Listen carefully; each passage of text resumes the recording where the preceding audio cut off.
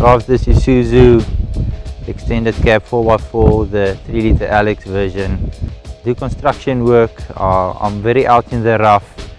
I need a tough bakkie and also what I enjoy about this tough bakkie, it's also luxurious. On my friend's farm, we were, we were driving by his dam and we were playing around and there was, uh, we, we tried to get up the embankment of the dam and without realizing with the slippiness the bakkie just went straight into the dam and it didn't turn up the embankment.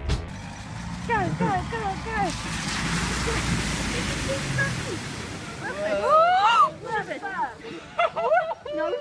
Daai stiek.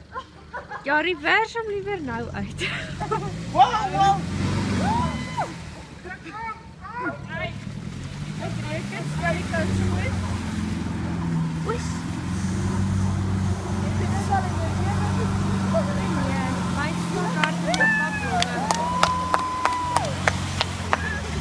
I stopped and I started to reverse. I went even further into the dam.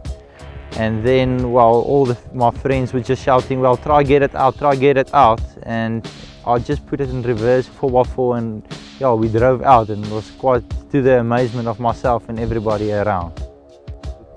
Use it to work with my machines, the Bobcats. I've, I've got real heavy loads to pull, also loads to lift.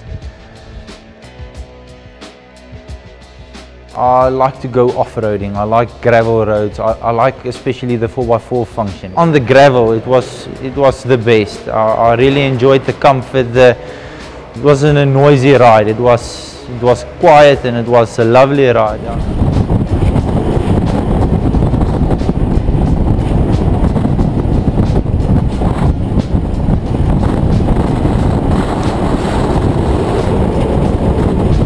This bakkie hasn't got any trouble going anywhere. All the luxury and all the power and all the toughness put together, it's just what I needed. So with this bakkie and also in my line of work, I, I know I can.